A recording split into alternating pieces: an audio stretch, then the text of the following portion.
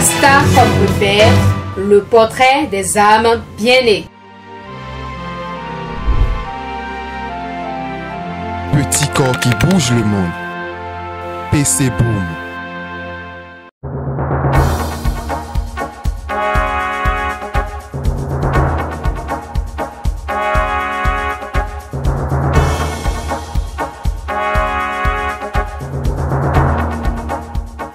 Winfrey ou simplement Oprah est une américaine et productrice de télévision et de cinéma, actrice, critique littéraire et éditrice de magazines américaines. Elle est surtout connue pour son talk show The Oprah Winfrey Show produit par sa propre société Harpo Productions basée à Chicago. Son émission a gagné de nombreux prix et est devenue le programme le plus vu dans l'histoire de la télévision jusqu'à son dernier épisode en mai 2011. Né le 29 janvier 1954 à Cos Siusco dans une campagne de Mississippi et élevé par une mère pauvre dans un quartier urbain défavorisé, Oprah Winfrey est la fille d'un couple non marié. Étudiante brillante, elle a été élue Most Popular Girl au cours de son parcours académique. Elle remporte un concours d'éloquence qui lui vaut une bourse à l'Université d'État du Tennessee, une université historiquement noire où elle étudie la communication. Son premier emploi d'adolescente est dans une épicerie. Devenue millionnaire à l'âge de 32 ans, quand son show est devenu national, Oprah Winfrey était en position de négocier les droits de son show et lancer sa propre compagnie de production en raison du succès de la quantité des revenus qu'il produisait.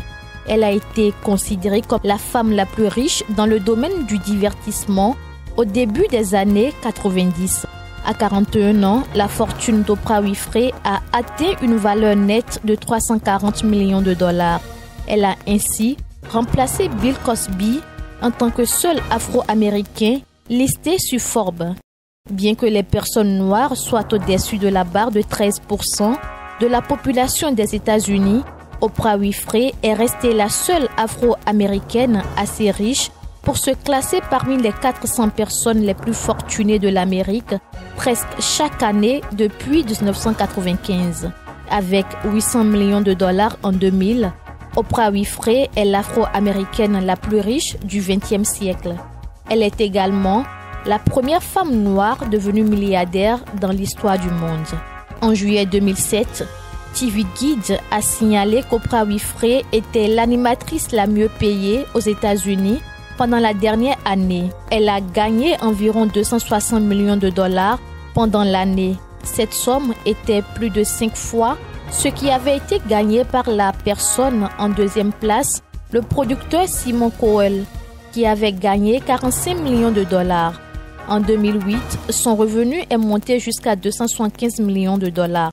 Elle aurait gagné 315 millions de dollars sur la période 2009-2010. À la fin du XXe siècle, Life l'a classée en tant que la femme la plus influente et la personne noire la plus influente de sa génération. Lady Home Journal a également classé Oprah Winfrey numéro 1 dans leur liste des femmes les plus puissantes en Amérique et l'ancien président Barack Obama a dit qu'elle était peut-être la femme la plus influente dans le pays. En mars 2021, CBS aurait payé environ 7 à 9 millions de dollars à la société d'Oprah Winfrey Harpo Productions pour acquérir les droits de son interview de Meghan Markle et du prince Harry. Oprah Winfrey et son associé Stedman Graham vivent ensemble depuis 1986. Ils avaient prévu de se marier en novembre 1992, mais la cérémonie n'a jamais eu lieu. Oprah Winfrey déclare qu'elle n'a jamais eu d'enfant parce que sa mère ne s'est pas occupée d'elle et qu'elle considère ses étudiantes au Oprah Winfrey Leadership Academy for Girls en Afrique du Sud comme ses filles.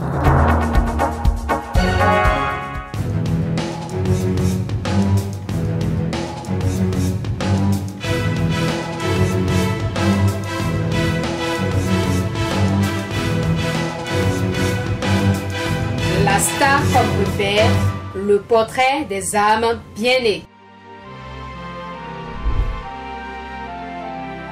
Petit corps qui bouge le monde. PC Boom.